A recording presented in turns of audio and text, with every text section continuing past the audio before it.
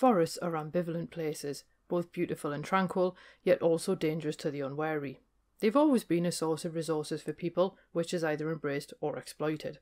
As a result, there's a whole class of folklore involving forest protectors, spirits who guard the woods and all the animals within.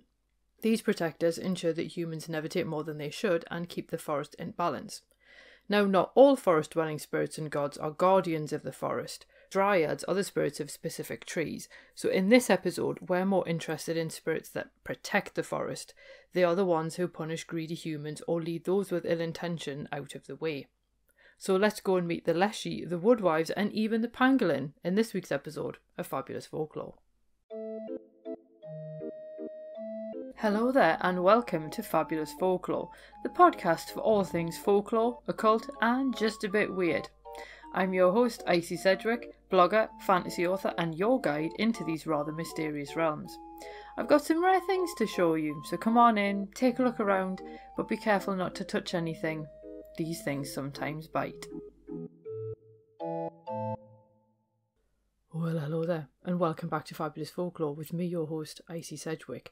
We are finishing off our forest folklore theme, and this time we're doing forest protectors.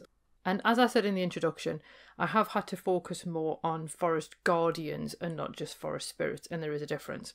I should also point out that I have covered Silvanus before, who was obviously the Roman god of the forest, and there are also some forest protectors in rebel folklore, so I'm not going to be dwelling on Muma Padurii, Papaboa, the Mapinguari, or La Madremonte in this week's episode because they are all in rebel folklore.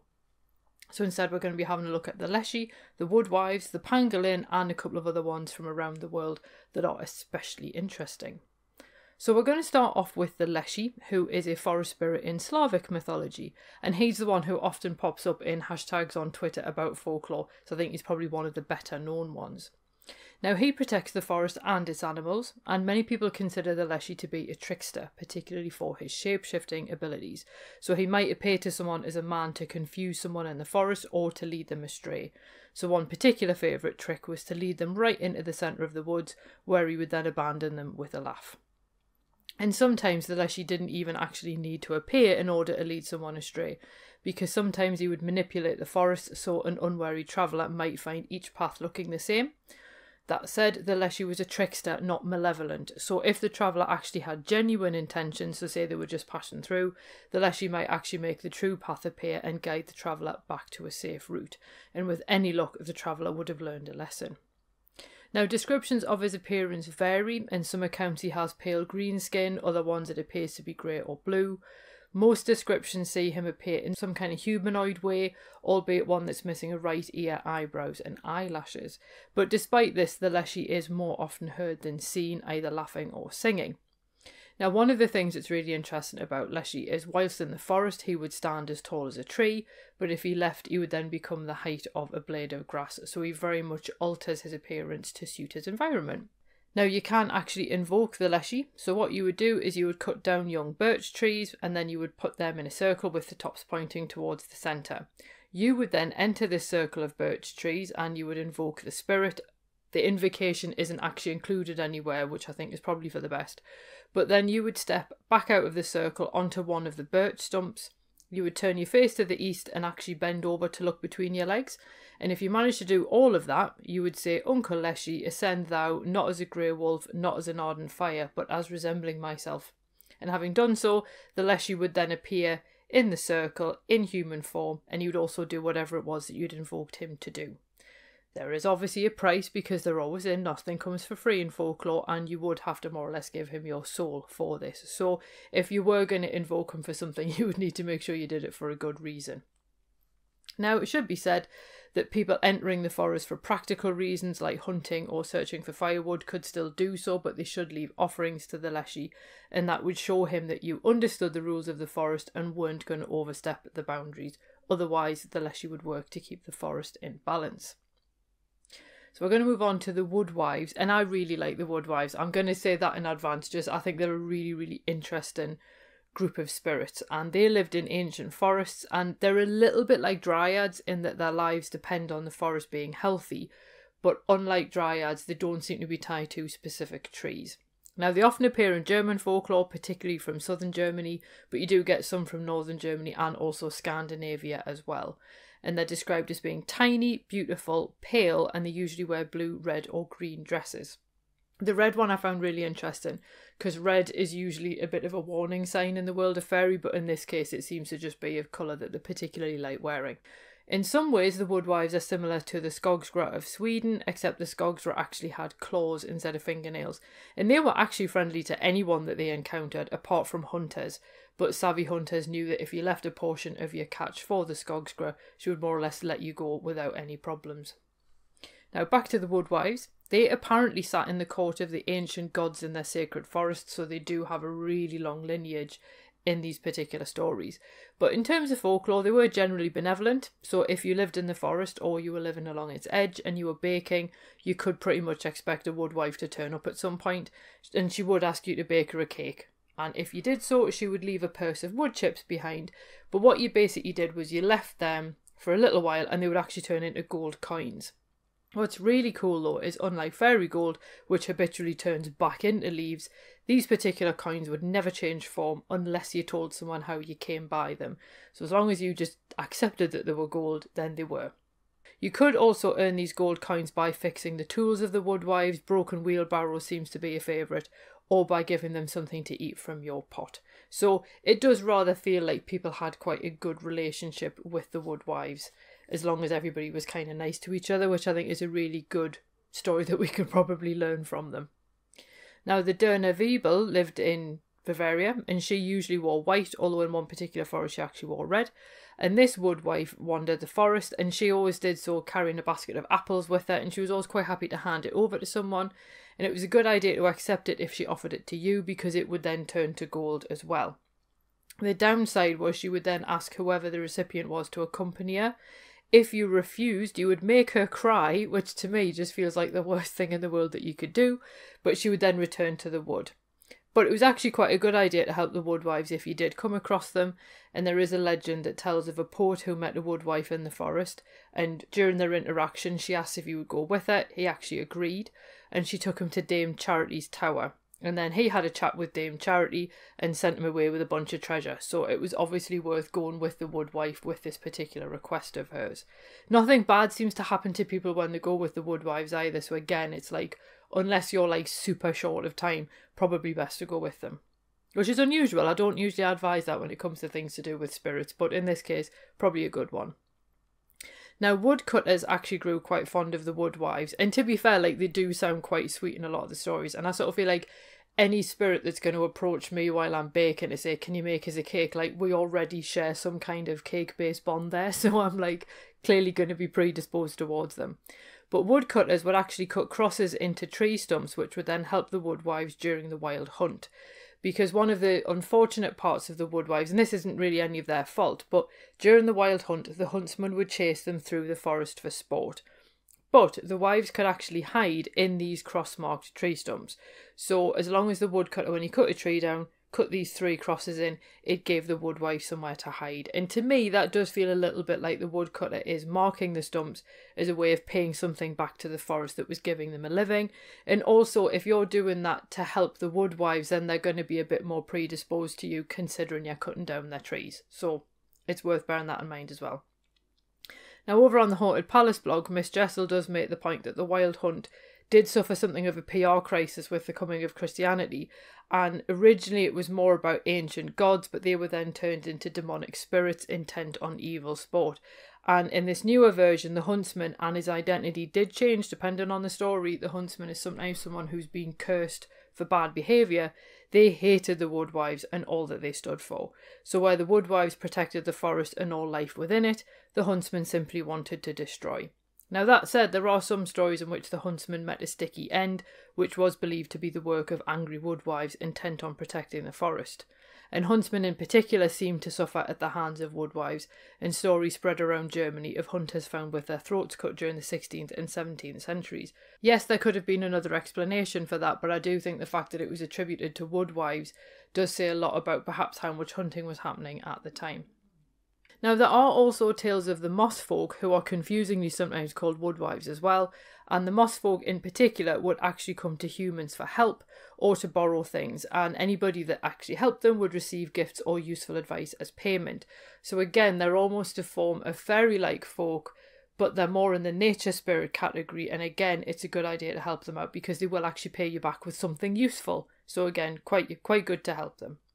Now, compared to the woodwives, who are obviously described as being these tiny, beautiful women, people considered the moss folk to be dwarfs, and they actually often lived in groups, whereas the woodwives seemed to be quite solitary. The moss folk were grey, often looked old, and they were overgrown with moss. And in some descriptions, it's like long grey strands of lichen form their hair and stuff, and they do sound pretty cool. Now, they often tended to sick animals, and they would also help people find medicinal plants in the forest during times of plague. But if anyone refused to help or refused their payment, then they would get angry.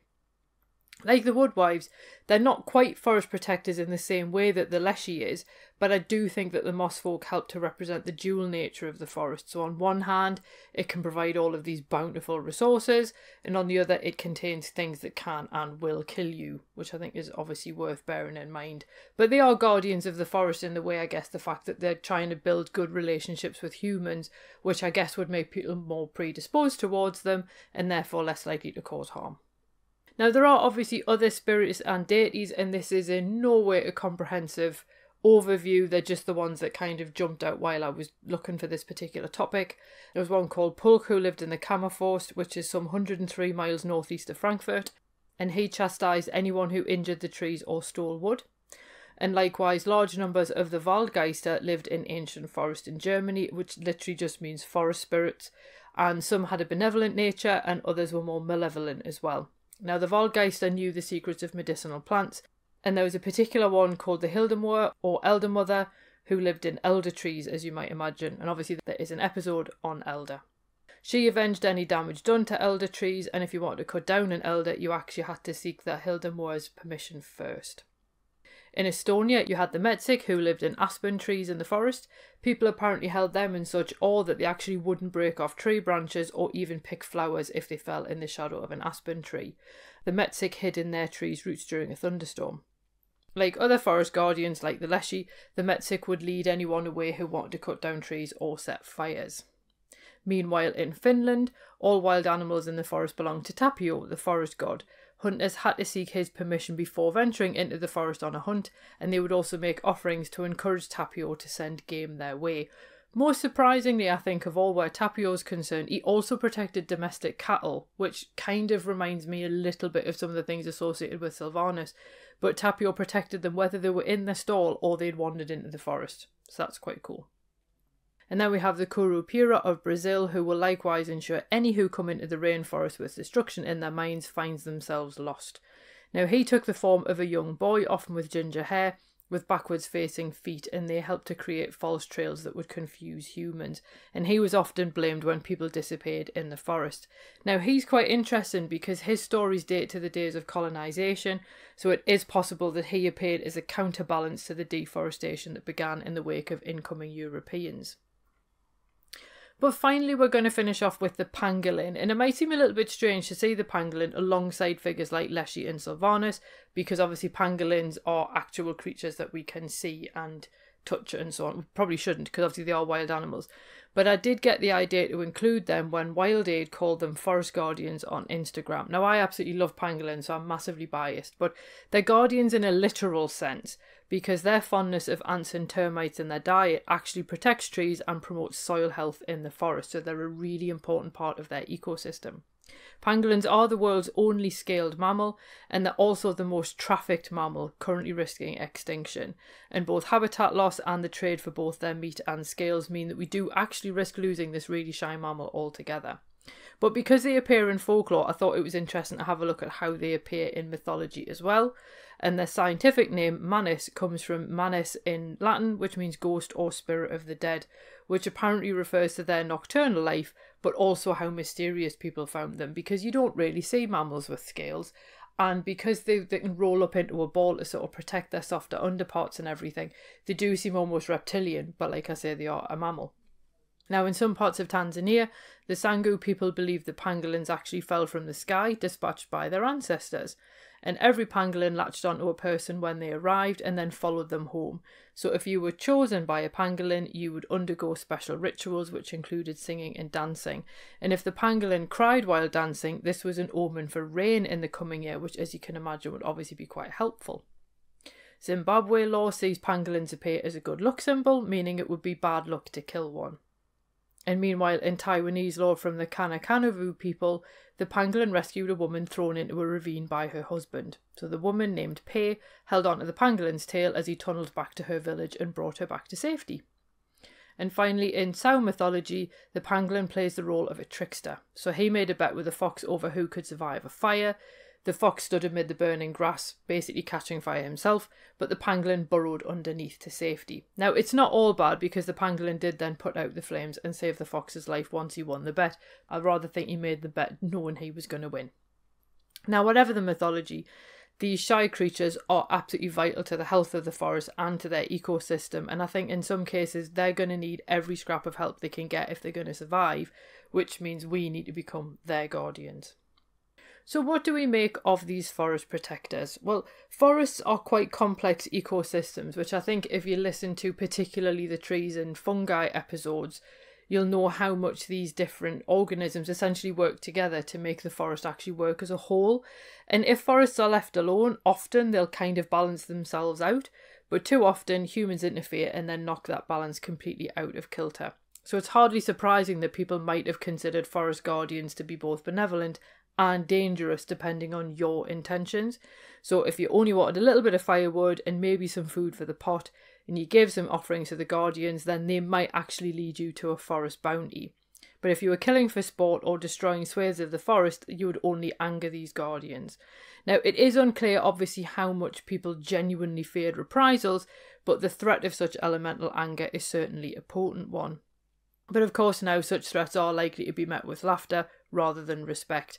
And in Britain in particular, and this is a soapbox I will never tire of getting up onto, developers can essentially cut down established ancient forests, claiming that they'll just replant trees elsewhere, but that is no actual replacement because saplings cannot do the job of mature trees, and it's so destructive to remove an established habitat with the promise of a new one that can't replicate the original. For one thing, you can't move all of the other animals and plants and so on that depend on these trees, and it does take a really long time for a forest to actually get established as well.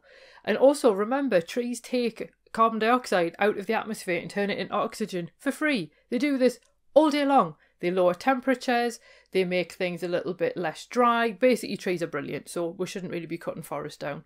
But with this mindset of the developers alive and well in the 21st century, the best forest protectors in the British Isles are often ordinary people, and we ultimately need to be our own forest guardians. So, what I want to know is which of these forest guardians are your favourite? Have you read Rebel Folklore and therefore come across the extra forest protectors that are in there as well? let me know. It's always nice to hear from people. If you've got any photos of your favourite forests, again, please feel free to share those with me. I love seeing photos of new places. It's always brilliant. You can always send them to me on Instagram, tag me on threads or whatever, or Twitter. I'm still on all the platforms that you find us usually somewhere. Next month, we're going to be having a look at folklore of sort of trying to think the best way of putting it. We're going to be looking at things like standing stones and stone circles and all that kind of thing. So it's kind of almost like specifically folkloric kind of places. And I can already say that the episode of Fabulous Folklore Presents I'm really going to be excited about is going to involve Atlantis. So that one is going to be so much fun to do. So I'll tell you more about that nearer the time. But yeah, that's what we're going to be having a look at in March. If you've got any specific locations you'd like me to have a look at, obviously please do let me know. Usual channels and everything. And that's all good. Also, I have drawn the winner of the Fabulous Folklore Turns 5 competition, so it, obviously I've removed the link for that from the show notes because that's no longer open, and I have emailed the winners, so you should hopefully get an email if you were successful. Remember, March is also my birthday month as well, so if anyone wants to buy me any extra coffees or whatever, it's always appreciated. But anyway, that is enough from me. I will see you next month for our folklore places, I guess, theme, and I hope you have a marvellous week ahead. Cheerio. Well, thanks for listening, and I hope you enjoyed that episode. If you did, feel free to leave a review wherever you listen to podcasts because that helps other people find the show too. It also takes between four and six hours to research, write, record, and edit these episodes, So if you want to help support my time in doing that, then you can buy me a coffee. Or you can join the Fabulous Folklore family on Patreon and enjoy extra benefits, including exclusive episodes and articles, and even illustrated talks. All the links you need are below, and thanks in advance.